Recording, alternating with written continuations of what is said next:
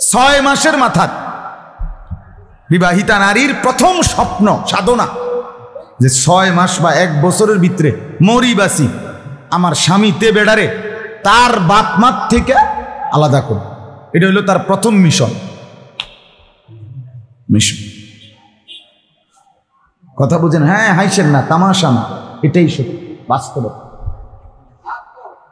তামাশা না। বাপমার থেকে আলাদা করে দাও। এত বড় সংসার, আমি পারি না। রান্না বান্না করতে পারি না। হ্যাঁ মেয়ের বাপকে দিয়ে বলাইছে, বাবা, ও তো সারা বছর স্কুলে পড়ছে তো, মাদ্রাসায় পড়ছে, বুঝেন তো, ও এত বড় সংসার সামাল দিতে পারে না। এটা আলাদা ছোট্টখাট্ট বাসা নিলেই হয়। কিছু ফার্নিচার আমরাও দিলাম, আপনিও কিছু ব্যবস্থা করলেন। দেখেন না বাবা, বাহ, শুদ্ধ মারে। শ্বশুর আব্বায় শুদ্ধ মাইরা। হ্যাঁ নিচে শেষ করে। বুঝেন নাই? আহ, তুমি বোন, তোমার একটু সুখের জন্য স্বামী বেচারাকে তার বাপ মার থেকে আলাদা করে দিলা। এরপরে এই বাপ মা যদি একবার আফসুস করে, আহাজারি করে ডাক দেয়, হায় সন্তান, কি করলি? তাইলে তো এই সন্তান তুমি না সুখ নিলা, কিন্তু তুমি তো তোমার স্বামীকে নিজ হাতে জাহান নামে ফেলে দিলে। মা বাবার এই আফসুস, মা বাবার এই কলিজা ছেঁড়ার ব্যথা, এই সন্তান জাহান্নামি হবে না? বলে, তো তুমি কি করলে? তোমার স্বামীর কি উপকারটা করলে? তুমি তো নিজ হাতে স্বামীকে জাহান নামে ঢুকাই বর্তমান যুদ্ধ এটা, কঠিন যুদ্ধ। মানে বিবাহের পরে স্ত্রীকে আপন মা বাবার খেদমতের জন্য একটু খেদমত কি থাকি ঠ্যাং টিফে খেদমত কি আর? ভাতে রান্ধো তরকারি রান্নো করো। তারা বুড়া মানুষ, মুরব্বী, আমার মা বাপ। তারাও কদ্দুর খাইব মিল্লামিশে এই তো না, আর কি তা? আর না একটুকুও এই নাফরমান নারী সহ্য করতে রাজি না। কারণ এতে করে তার টেলিভিশনের ডিস্টার্ব হবে। এতে করে তার সাজগুজের ডিস্টার্ব হবে। এতে করে তার দেবিদ্বারে মার্কেটিং এর ডিস্টার্ব হবে।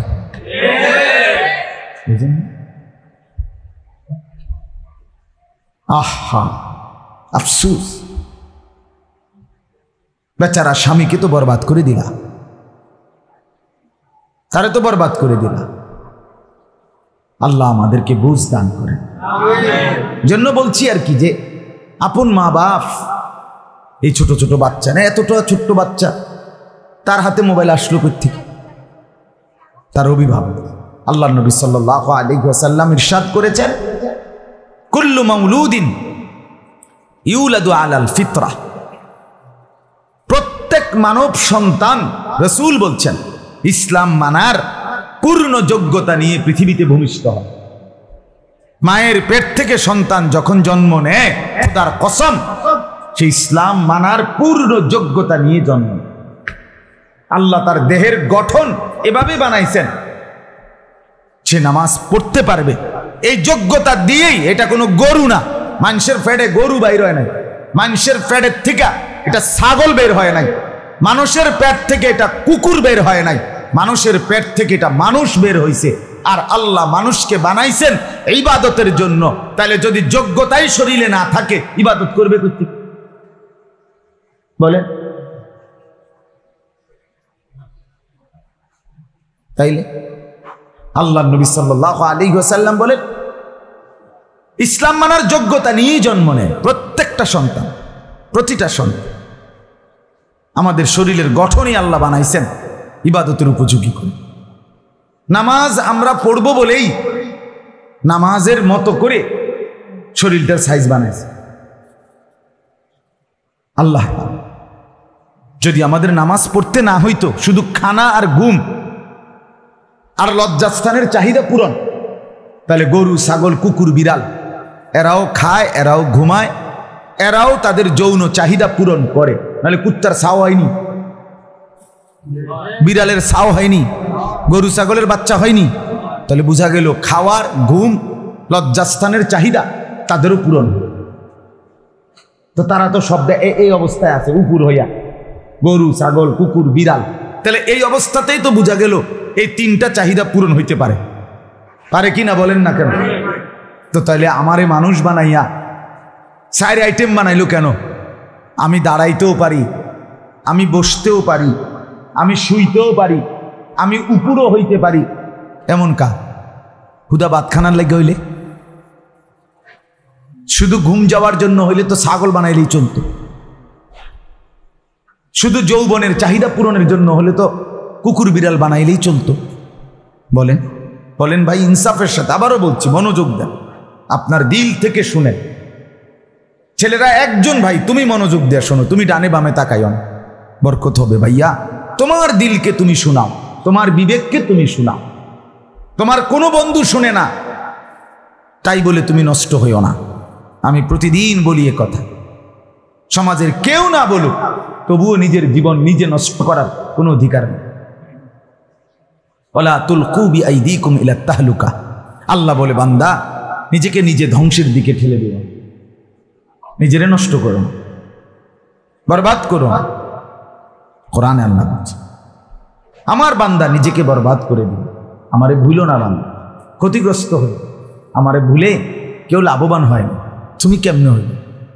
তোমার চাইতে কত বুদ্ধিমান কত শক্তিধর কত ক্ষমতাশালী আমি পৃথিবীতে ধ্বংস করছি তুমি কে আওয়ালাম ইয়ালাম আন্নাল্লাহ قد أهلك من قبله من القرون من هو أشد منه قوة وأكثر جمع কারুনকে আল্লাহ বলছে এই কথা এটা এটা কোরআনের আয়াত কারুন যখন বলছে আমি আল্লাহর রাস্তায় খরচ করব না আল্লাহ বলছে জাকাত দাও কারুন বলছে এগুলো আল্লাহ আমারে দেয় নাই ইন্নামা উতি তুহু আলা ইলমিন আইন্দি আমার সমস্ত সম্পদ আমি আমার বিদ্যা বুদ্ধি, আমার ব্রেন খাটাইয়া কামাই করছি।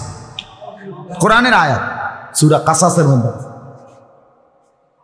আল্লাহ বলছে আচ্ছা ঠিক আছে। কারণ তুমি তাহলে জানো না যে তোমার আগে শক্তিতে এবং ক্ষমতায়, সম্পদে সর্বদিকে বেশি ছিল।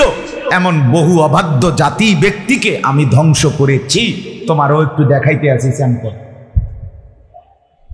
ওখাসাফনা বিহি অবিদারহিল আরুবা আল্লাহ বলেন, এরপরে আমি কারুনকে তার ঘর বাড়ি সহ মাটির নিচে টান দিলাম। একদম মাটির নিচে জিন্দা ঘর বাড়ি স্বর্ণ রৌপ্য সমস্ত প্রাসাদ সহ দাফন হয়ে গেছে। গতকালকেও কোরআনে আছে, লম্বা সুন্দর, যদি এটা বলতাম। গতকালকেও যারা কারুনের সাথে মুসাফা করছে, আপনি ভাগ্যবান, চেহারাটা আপনি তেল তিল্লা, শরীরটা দেখলে মাসা আল্লাহ নয়ন জুড়ায়, আপনার আডা দেখলে, চলাফেরা দেখ আল্লাহ দিছেও আপনারে। সুখ বাইয়া বাইয়া পড়তে আছে আপনার, পয়সা দেখতে। গতকালকেও যারা বলছে এ কোরআনে আছে, পরের দিন কারুনের এই পরিণতি দেখে তারা বলল, হায় আল্লাহ, আপনার দয়া যে আপনি তার মতো হওয়া থেকে আমারে বাঁচাই দিয়েছেন। আয় খোদা, কালকে রাত যদি তার ঘরে থাকতাম, তুই তো আমি ওটা আমার করে আল্লাহ না রক্ষা করছে, দশটা এগারোটার দিকে বাইরিয়ে গেছি। বুঝেন নাই কথাটা? হ্যাঁ। এজন্য এটাই বলতে চাইছিলাম। আমাদের জিন্দিগির গঠন, আমাদের জীবনের গঠন দরকার। আমাদের মধ্যে এই অনুভূতি জাগানো দরকার। তো বলতেছিলাম, বাচ্চাকে নবীজি বলছেন, ইসলাম মানার যোগ্যতা নিয়ে প্রত্যেকটা মানব সন্তান ভূমিষ্ঠ। আল্লাহ আমাদেরকে কেন এভাবে বানাইল? শুধু খাওয়ার জন্য, ঘুমের জন্য, যৌন চাহিদা পূরণের জন্য না বাস। তাহলে এই চার আইটেম লাগতো না। তাহলে প্রমাণ হলো, চার আইটেম দাঁড়ানো, উপর হওয়া, বসা, শোয়া। চার আইটেমে আল্লাহ বলেন, আমি বানিয়েছি, তোমাকে নামাজে দাঁড়াইতে হবে, রুকু দিতে হবে, সেজদা দিতে হবে আত্মাহিয়াতুর সুরতে বসতে হবে। তোমার নামাজ পড়তে হলে এই চারটে আইটেম লাগবে, এজন্য তোমার দেহকে আমি এই চার আইটেমের আন্দাজ দিয়ে বানিয়েছি। ইবাদতের উপযুক্ত নাই তো বানাইতাম। এই হাত এখান থেকে এখানে, এই হাতের তালু জেদ্দুর আমাদের এখান থেকে এখানে এদ্দুর আপনি মাইপা দেখেন। একদম একশো একশো। কারণ এই দুই হাতের তালুতে পানি নিয়া আল্লাহর হুকুম যে সমস্ত চেহারা নামাজের পূর্বে অজুতে মুখমণ্ডল দৌত করা ফরজ। এনে ফানি যেদূর আমের মুখ এদ্দুর আল্লাহ বলেন, আমি এটা মিলাইয়া দিছি। কারণ আমার বান্দা ইবাদতের উপযুক্ত করে আমি তার দেহ বানাইছি। একবার সব মাইট পাইডি কোনো বে হিসাবই না। এই আঙ্গুল, এটা এক সাইজ এটা এক সাইজ এটা এক সাইজ তুমি মনে করো না, বান্দা, আল্লাহ বলেন, এটা বে হিসাব না। এটা দেখতে এরকম, কিন্তু এমনি মিলায় দেখো, এটা মিলে যায়। তুমি দেখো। এটা একটু বাঁকা, এই বুড়া আঙ্গুল, এই চারোটা সোজা উপরের দিকে। এমন কেন তুমি যদি বলো, আল্লাহ বলেন, তাহলে এটা যদি বাঁকা না করি, তুমি গুনবা কি দিয়া বান্দা? তসবি পড়বা কি দিয়া? আরে তসবি বাদ দশ টাকা, বারো টাকা, চোদ্দ টাকা গুনবা কি দিয়া? বলেন, এই এই আঙ্গুল দিয়ে, এই আঙ্গুলে গোনা যায়? এটা দিয়ে এটাতে গুনা যায়? আল্লাহ বলেন, আমি এটাই জন্যই দিকে সরাই দিছি। বুঝা শুনে দিছি।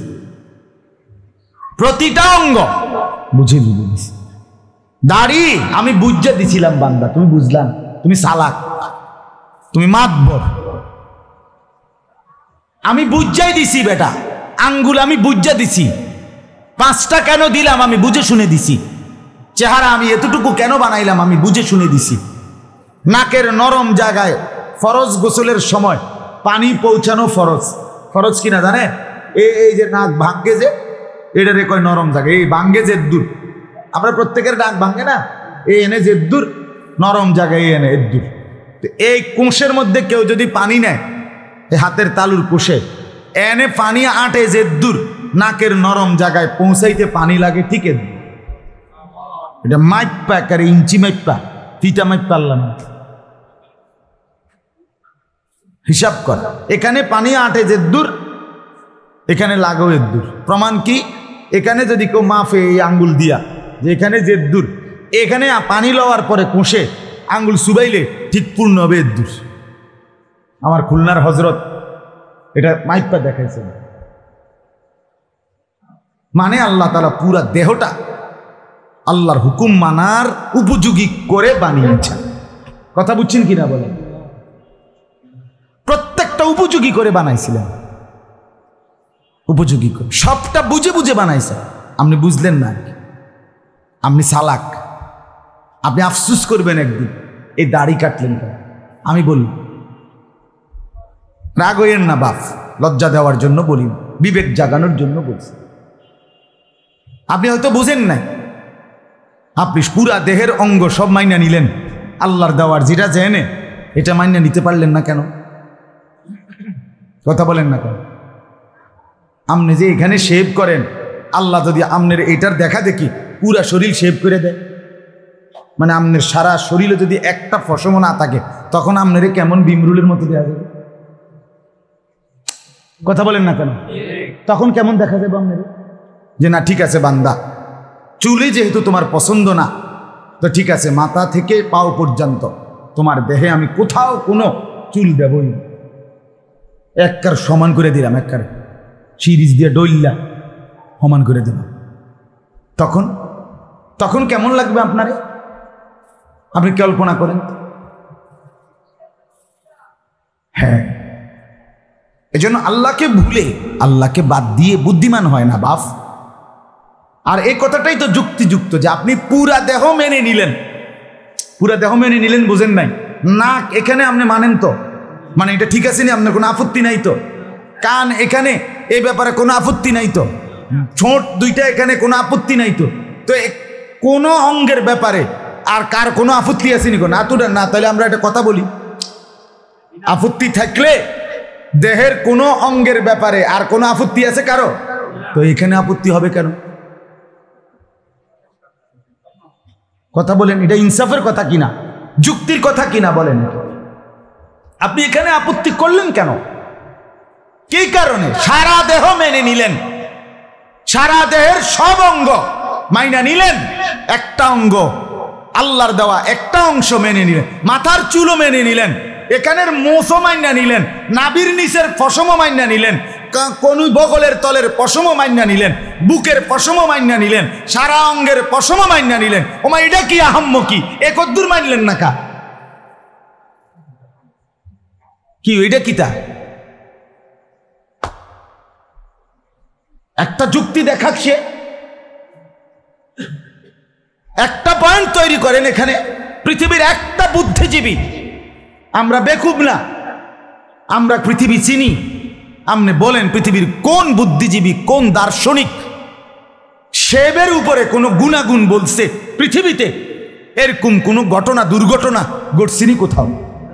যে একটা, একটি বিরাট দুর্ঘটনা, যে অমুক বুদ্ধিজীবী শেভ করা চেহারার উপরে আলাদা কোনো ফায়দা, উপকার, গুণাগুণ বলছি কিনা কোথাও? কোথাও না বরং ক্ষতির কথা আছে। কিসের কথা আছে? হ্যাঁ ক্ষতির কথা আছে। ক্ষতির কথা আছে। এই দাড়ি এখানে বক্ষকে অসংখ্য রোগ ব্যাধি থেকে কি করে? বাঁচিয়ে। বাঁচিয়ে। আপনি একজন বক্ষব্যাধি বিশেষজ্ঞ ডাক্তারকে জিজ্ঞেস করেন আপনাদের তো মাসা আল্লাহ দেবিদ্যার হাসপাতালে একই তো কথা। ঠিক কি না বলেন? দেবিদ্যার শব্দের অর্থ কি? শাব্দিক অর্থ কি? হাসপাতাল আর কি? মানে অর্থাৎ এই পরিমাণ দুই পাশে হসপিটাল যে মাসা আল্লাহ যে মনে হয় যেন দেবিদ্যার মানেই কি?